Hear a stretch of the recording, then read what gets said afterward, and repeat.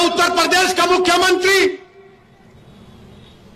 उत्तर प्रदेश का chief justice बन चुका है कि वो फैसला करेगा कि किसका घर तोड़ दिया जाए।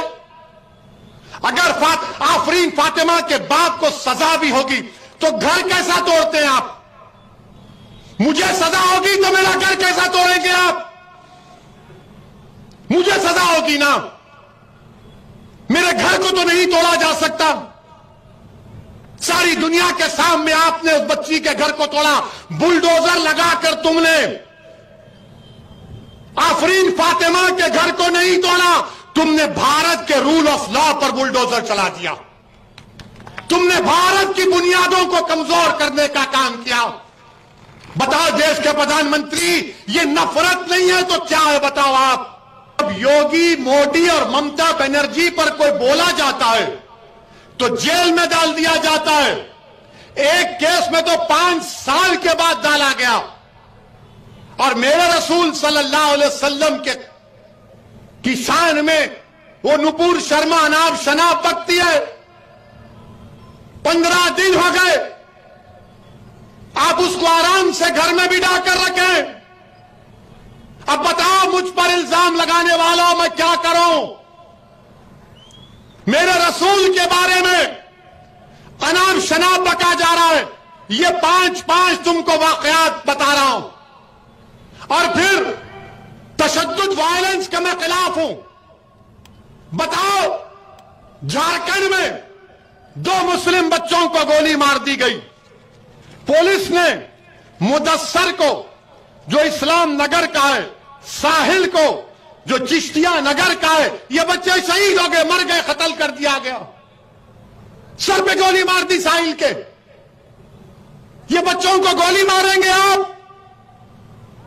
बताओ झारखंड की हुकूमत जो कांग्रेस की सरकार है, जीएमएम की सरकार है, दो बच्चों को गोली मार दिए। अफसर आलम एक बच्चा है, छह गोलियाँ उसको मारी गई। चार निकाली गई, दो गोलियाँ उसके जिसम में। और वो साहिल की माँ, क्या कह रहे मैं वीडियो देखा? वो कह रही कि रसूल अल्लाह सल्लल्लाहु अलैहि वसल्लम के लिए मेरे बेटे ने अपनी जान को कुर्बान कर दी नहीं, तुम थाली नहीं मारोगे। सोचो थोड़ी देर के लिए तुम्हारा भाई था, तुम्हारा बेटा था। क्या करोगे तुम? हम अपने बेटों को इसलिए पैदा करते हैं कि जान दे दें क्या हमारी जान की कीमत नहीं है। क्या उस बच्चे के उसके माँ को हक हासिल नहीं था कि उसके जयीफी का सहारा बने। ये मेरी लड़ाई है। इस पे बोलते हैं भड़का भाषण दिया आप। दो बच्चे मर गए। गोलियाँ मार दिया आपने। ये नहीं होता था अगर देश के प्रधानमंत्री एक्शन ले लेते। मैं वायलेंस का कंडेम करता हूँ। प्रोटेस्ट होना चाहिए, मगर संविधान के दायरे में होकर रहना चाहिए। प्रोटेस्ट करना हमारा बुनियादी हक है फंडामेंटल राइट है, मगर अमन के साथ यहाँ पर दो बच्चे चले गए।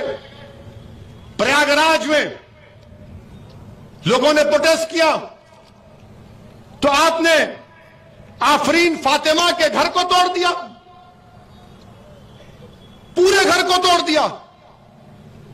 क्या कहा उत्तर प्रदेश की सरकार ने कि इसका बाप और यह जिम्मेदार है? क्या कोर्ट किस लिए है फिर बताओ आप? अदालत किस लिए है? जज किस लिए है? पुलिस किस लिए है?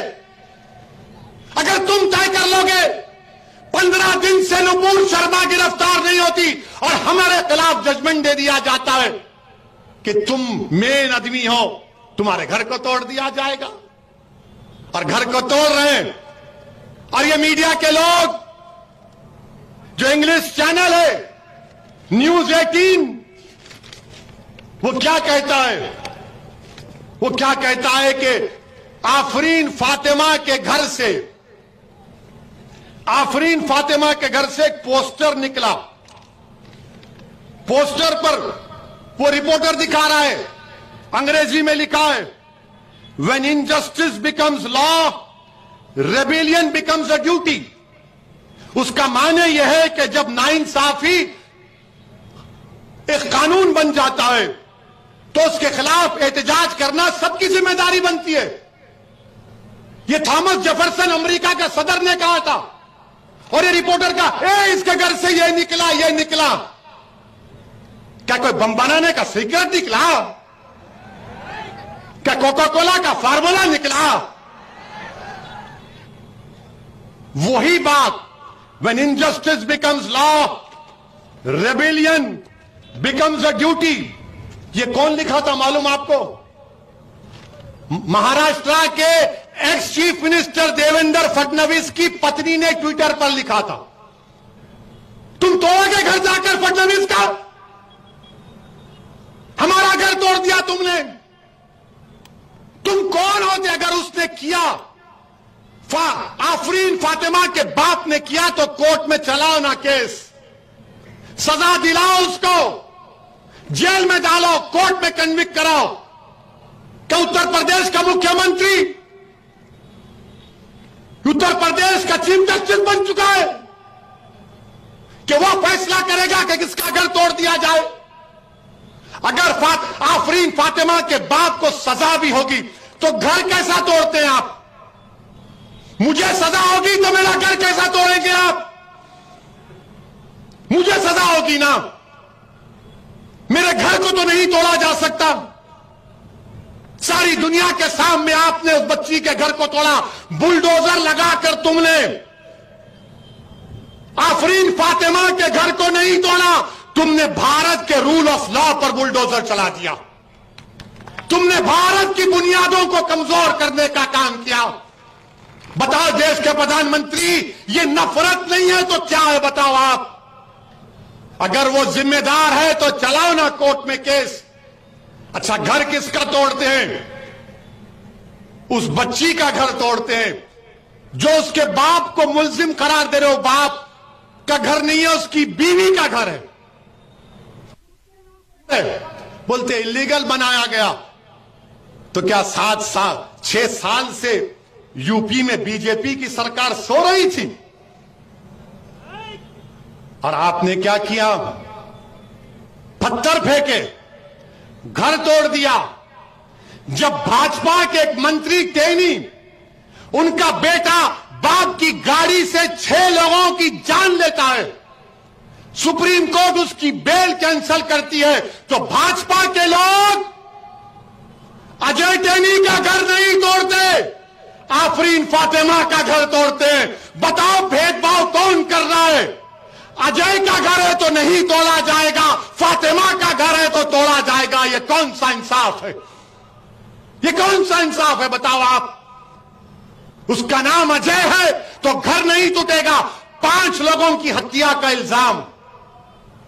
ये सबका साथ, सबका विकास, ये ढकोसले वादे।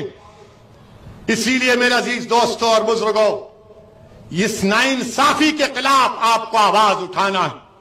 हम देश के प्रधानमंत्री से अपील कर रहे हैं, ये बुलडोजर जो आप घरों पर चला रहे हैं, एक समुदाय के घरों पर चला रहे हैं प्रधानमंत्री, देश के संविधान को आप कमज़ोर कर रहे हैं।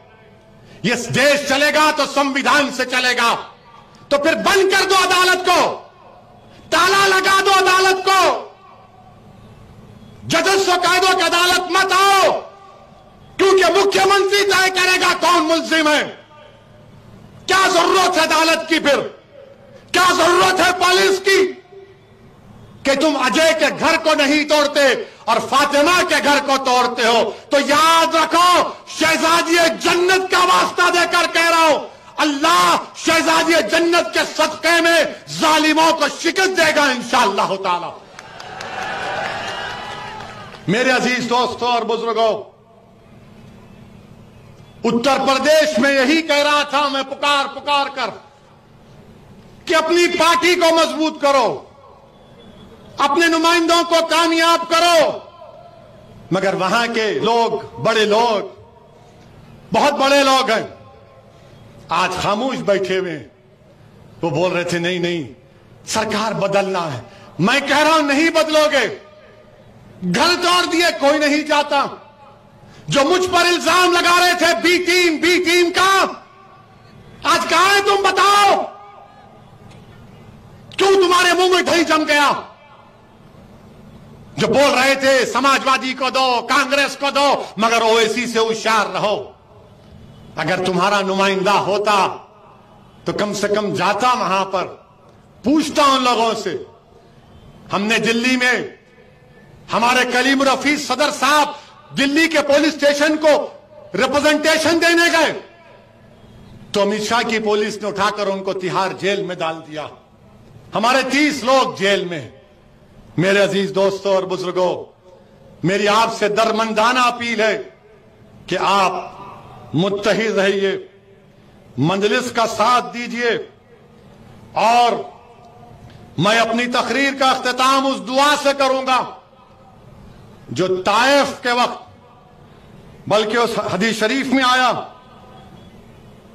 कि अल्लाह के रसूल सल्लल्लाहु अलैहि वसल्लम ने ताइफ के वक्त ये दुआ की थी, आज आप और हम रब कायनात के सामने हाथ उठाकर हम दुआ करते हैं, कि इसका तर्जुमा पढ़ रहा हूँ, जो किसी आलिम दीन ने मुझे भिजाया।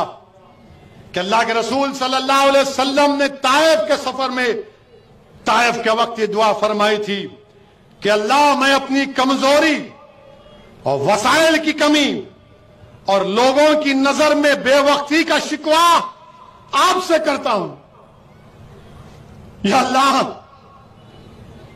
हम हम अपनी कमज़ोरी और वसाइल की कमी और लोगों की नज़र में बेवक्ती का शिकवा आपसे करते हैं। आप तमाम रहम करने वालों में सबसे ज़्यादा रहम करने वाले और मेहरबान है। या अल्लाह हमें किसके सुपुर्द कर रहे हैं?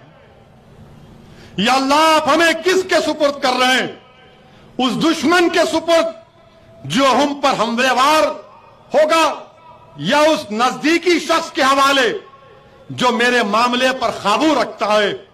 अल्लाह, अगर हमसे नाराज़ नहीं है तो मैं किसी बात को खातिर में नहीं रखता। हाँ, आपकी आफियत हमसे बहुत कशादा है।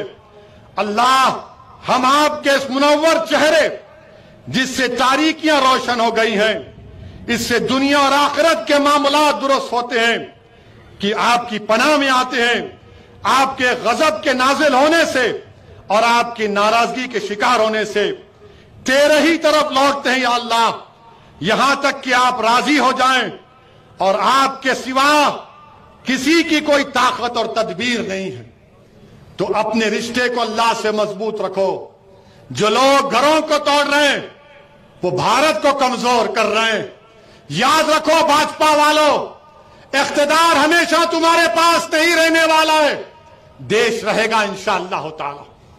और देश को मज़बूत रखना है। मेरी आपसे गुजारिश है कि मंजलिस को मज़बूत करिए। मुतहिद रखिए। भूज में अमन को और मज़बूत करिए और इस पार्टी को कामयाब करिए। आपका फिर से शुक्रिया कि आपने अपना कीमती वक्त निकालकर आज यहाँ पर आए। मैं आपकी मोहब्बत को सलाम करता हूँ। मेरे पास अल्फाज नहीं है कि आप हज़ारों की तादाद में यहाँ पर आए हैं। और सुनो मोदी जी, अगर आपकी भी सभा होगी तो लोग ऐसा मोहब्बत से नहीं आते होंगे। लोगों को लाया जाता है, आ, गाड़ी में बैठ, गाड़ी में बैठ, आ आ। यह ओनली मोहब्बत है। अल्लाह इस मोहब्बत को कायम रखे। आपका बेहद शुक्रिया। अस्सलाम वालेकुम वरहमतुल्लाहि वबरकातुहू